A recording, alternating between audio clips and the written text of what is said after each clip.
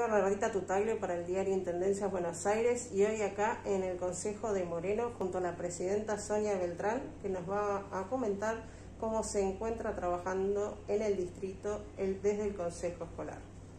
Hola Sonia, buenas tardes. queríamos, queríamos saber cómo se está manejando el Consejo eh, en el distrito y qué están haciendo.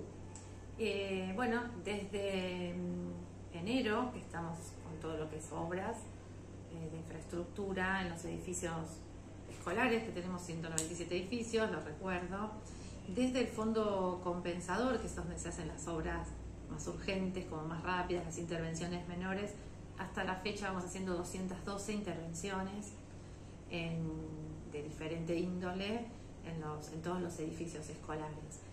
Hemos ya implementado el PED, que es el programa de emergencia edilicia educativa, donde ya se licitó un pliego con 16 obras de gas y que eh, se están realizando, que son obras, obras completas de gas, en donde se hace cambio de calefactores, en algunos casos cambio de, cocina, de termotanque, todo lo que sea necesario este, en la institución y sobre todo este, corroborar que no haya problemas de conectividad de gas.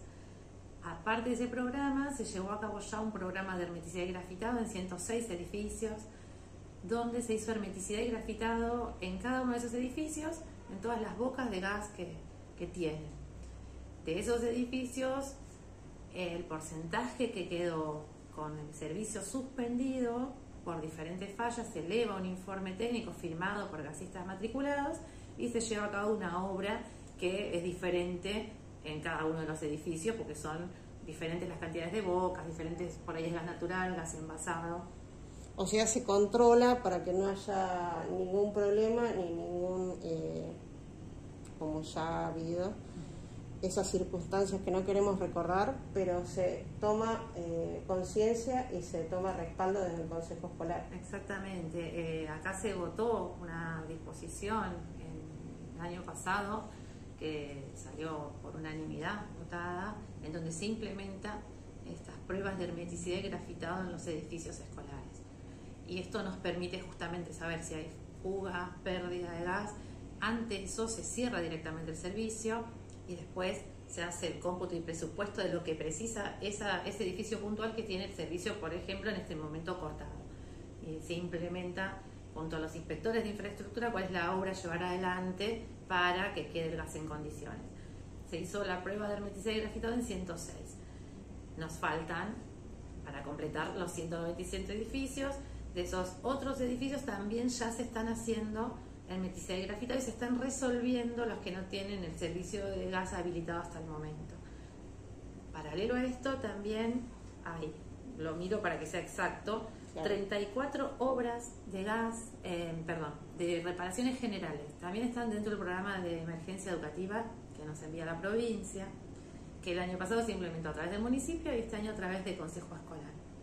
Estas 34 obras son más grandes, hablan ya de arreglo de sanitarios, filtraciones, cubiertas, cañerías, agua, todo lo que es cocina, patios, y en algunos también entra eh, alguna obra de gas.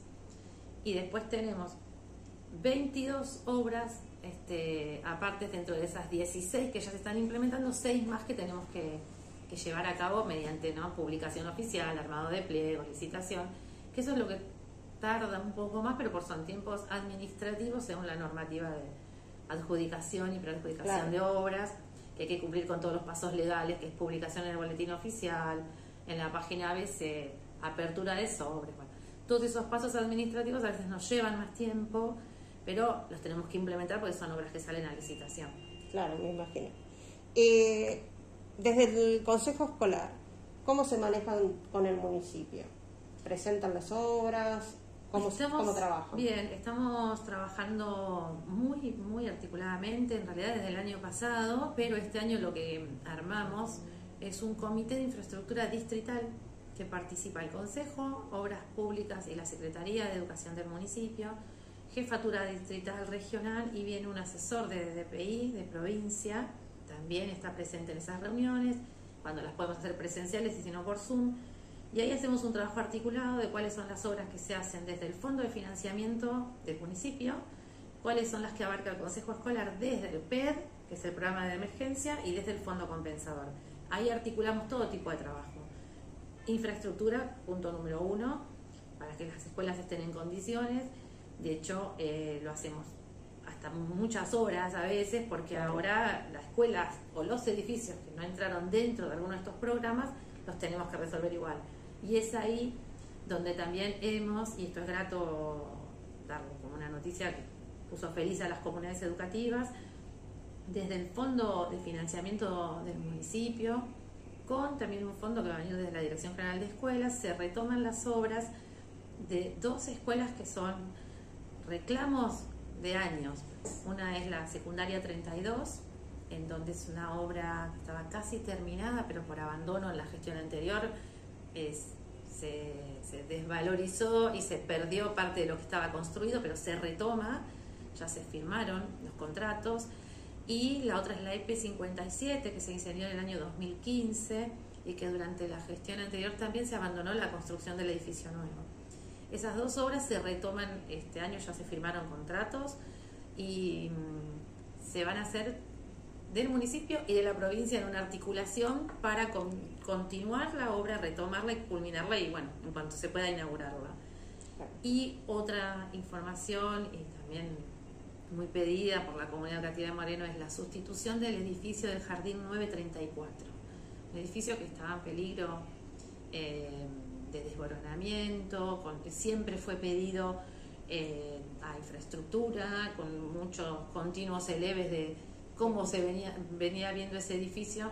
Se sustituye ese edificio, así que también para nosotros eh, es un avance. grato la noticia porque Moreno es impresionante la cantidad de de población infantil en edad escolar que merecemos y merecen las comunidades la construcción de escuelas. Claro. Entonces, que se reanuden todas estas obras que habían quedado pendientes y la ampliación de obras que también está trabajando el municipio, que es ampliación de aulas en muchas escuelas que son necesarias porque no, los pibes no los puedes tener amontonados en un salón, menos Claro. en este contexto con las burbujas y Es pensando un imposible. futuro presencial, claro, que no que no, no hablemos de burbujas, si pensamos a futuro, donde ya estemos Claro, normalizado. normal, por decirlo de algún modo, tenemos que garantizar que están las aulas disponibles para la cantidad de matrícula que haya. Claro. Y en eso eh, también se está haciendo un relevamiento conjunto. Muchas de esas eh, las va a hacer el municipio, también es del fondo de financiamiento. Así que hay un trabajo articulado eh, constante y nos estamos llamando todo el tiempo con las chicas de- de- del municipio. Lo mismo hicimos con mobiliario. Acordamos desde el año pasado cuáles eran las necesidades, que eran muchas. Yo te diré que todas las escuelas piden mobiliario.